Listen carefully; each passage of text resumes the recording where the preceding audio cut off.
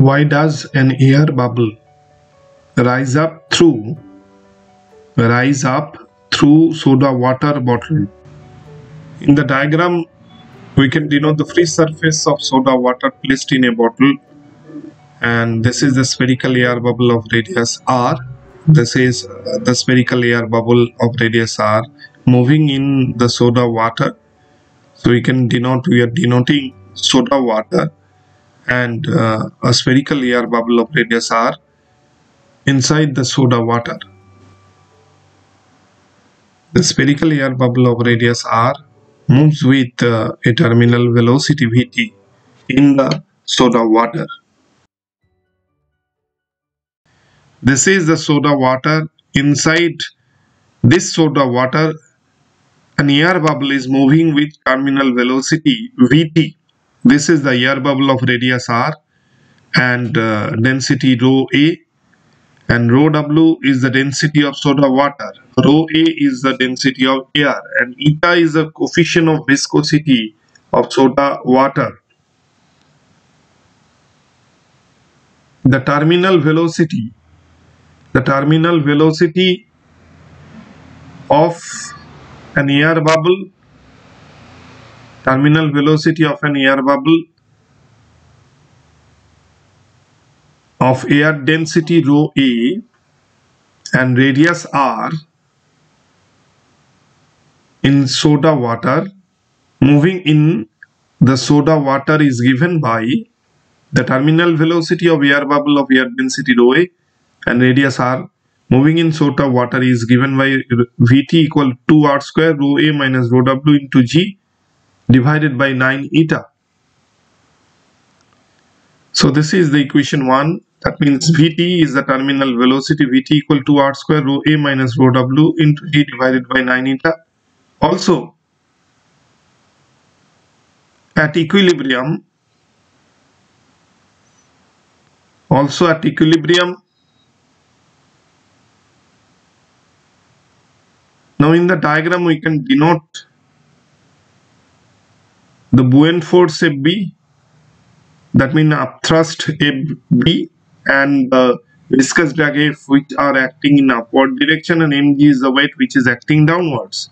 At equilibrium weight mg is equal is equal to sum of F and FB where F equal to 6 pi r eta Vt which is the viscous drag acting on the spherical air bubble viscous drag and FB is, e is equal to the thrust. That means mw into g where mw is the mass of soda water displaced by the spherical air if b equal mw into g which is the thrust or buoyant force acting on the spherical air bubble.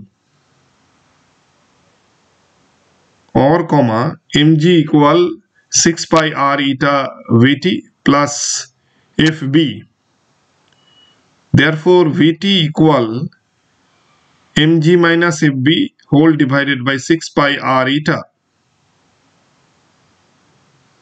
This is also the another expression of terminal velocity and which is equation 2.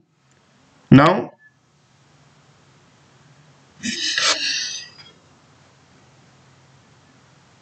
Vt equal to r square rho a minus rho w into g divided by 9 eta that is from equation 1 as density of air or density of air bubble is less than the density of soda water that means rho a less than rho w that is density of air rho a which is equal to 1.293 kg per meter cube bracket close is less than is actually is uh, much less than the density of the soda water that means rho w.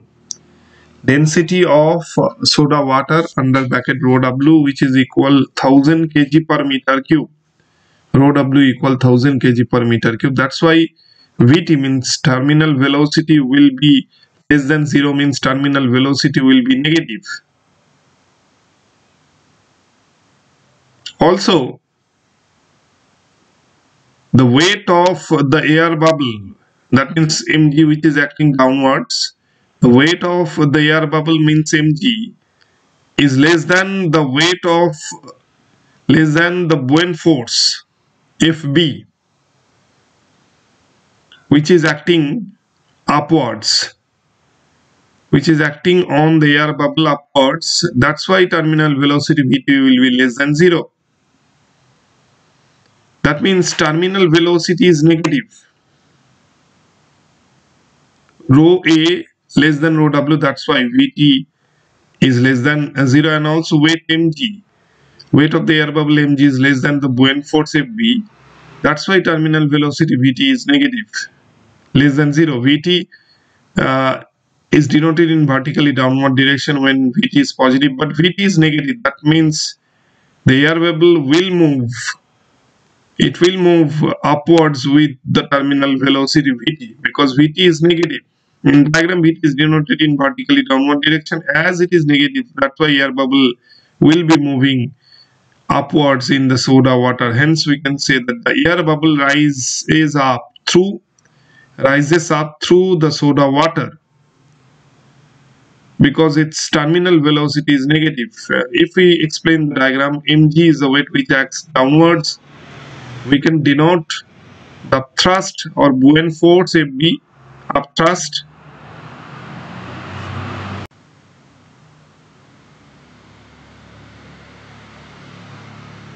Now, the viscous drag F which is equal to 6 pi r eta Vt will be acting downwards because uh, the air bubble will be moving upwards in the soda water with the terminal velocity Vt.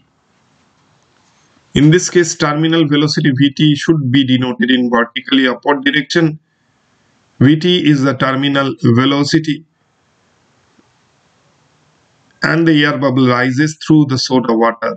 Rho, rho A is the density of air or density of air bubble which has the value rho a equal 1.293 kg per meter cube and density of water is 1000 kg per meter cube. Density of air rho a is equal to 1.293 kg per meter cube. As density of air is less than the density of soda water that means rho a is much less than rho w that's why terminal velocity vt is negative so air bubble rises up through the soda water through the soda water